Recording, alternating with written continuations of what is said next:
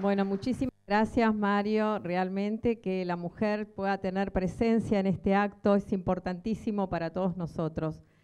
Desde CONAN ustedes saben que trabajamos muchísimo para el empoderamiento de la mujer, para que la mujer llegue a cargos de liderazgo en conducción. Estamos totalmente comprometidos con esa tarea y con esa lucha. Conozco a muchas de ustedes, hemos caminado nuestra provincia, nuestro país, y trabajamos en empoderar a la mujer y que la mujer se anime, que la mujer puede, que la mujer tiene capacidad. Nosotros estamos convencidos que la mujer tiene que llegar por capacidad, más allá de los cupos que se fijen. Así que gracias. Bueno, desde nuestra confederación eh, hacemos votos para que esta nueva gestión tenga privilegios sobre el sector. Sentimos que nuestro sector muchas veces no se adapta a las políticas generales del Estado que necesitamos, porque dicen que, bueno, que como bien lo señaló el actual presidente, a veces eh, se, cometen, se, se, habla que se cometen ilícitos por mutuales y cooperativas no genuinas. Acá tenemos al movimiento genuino presente. Todos estamos presentes y somos de movimientos genuinos, de movimientos de base. Tenemos también la presencia, cuando vos dijiste del sindicato, nosotros trabajamos codo a codo con el sindicalismo. Está presente el compañero Luis Lebowitz de la Federación del Sindicato de Pasteleros, que está allá al fondo. Luis, gracias por venir. Porque precisamente el crecimiento y el desarrollo del sector lo hacemos entre todos. Tenemos que estar totalmente unidos en pos y en beneficio de nuestras instituciones y nuestros asociados y de la comunidad en general. Hay mucho por hacer. Hacemos votos precisamente para acompañar al Estado y para trabajar codo a codo con cada uno de nuestros dirigentes, con cada uno de nuestros asociados, con cada una de nuestras comunidades, trabajo territorial, trabajo regional. Recorremos el país, recorremos todas las provincias, brindando desde nuestro sector multiplicidad de servicios, para lograr la tan mentada inclusión social, para mejorar la calidad de vida de todos los ciudadanos. Felicitaciones por la asunción y agradezco a todos los presentes que estemos acá acompañando precisamente a la nueva gestión y haciendo votos para que tanto al señor presidente de la Nación, a los señores ministros, como a todos los funcionarios les vaya bien, porque si les va bien a ellos, le va bien a la República Argentina. Muchas gracias.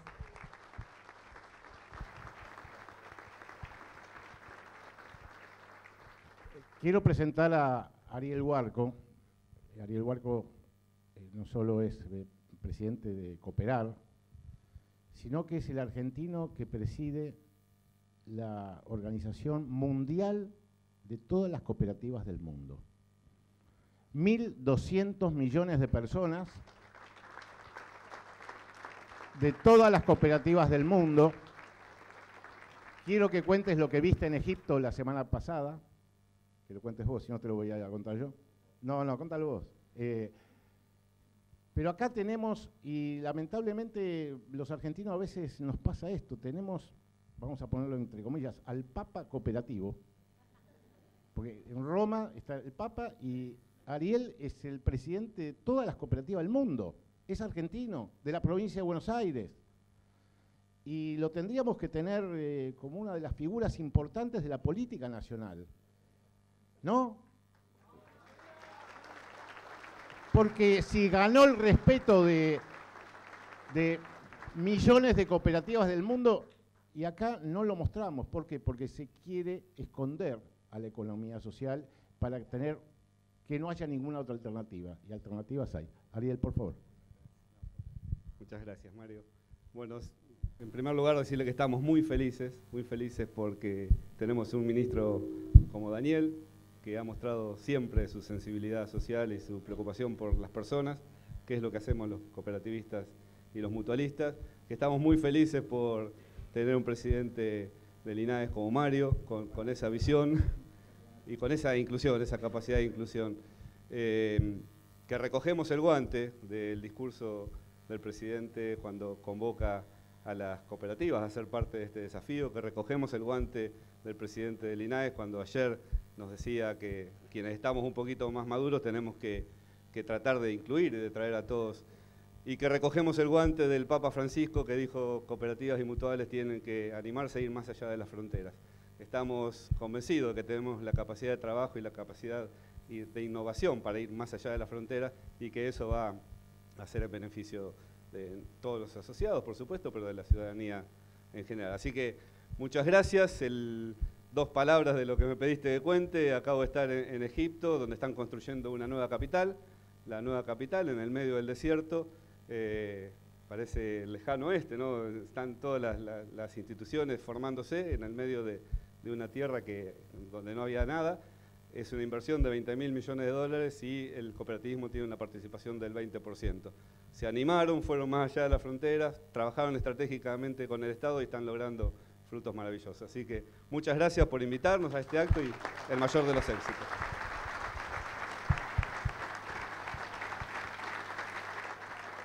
Bueno, y por último le vamos a pedir a Alejandro Russo, permiso Daniel, Alejandro que diga unas palabras. Muchas gracias Alejandro.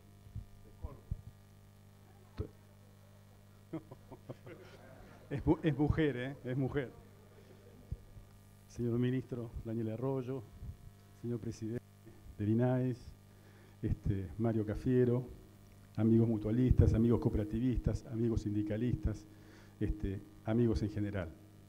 Este es un momento muy importante y cuando Mario me dice, nos mencionó recién que nos daba la palabra, no pude evitar recordar lo que pasó en el 2017 y el 2018, cuando tuvimos que decir que nuestra naturaleza jurídica no era el lucro, éramos entidades sin fines de lucro.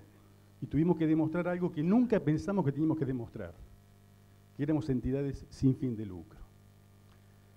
Nuestra confederación desde hace muchos años está convencida, está convencida que tiene que articular con todos los actores de la economía, con todos los actores sociales, con cámaras empresariales, con sindicatos, con universidades, con las cooperativas y las mutuales en un factor de integración.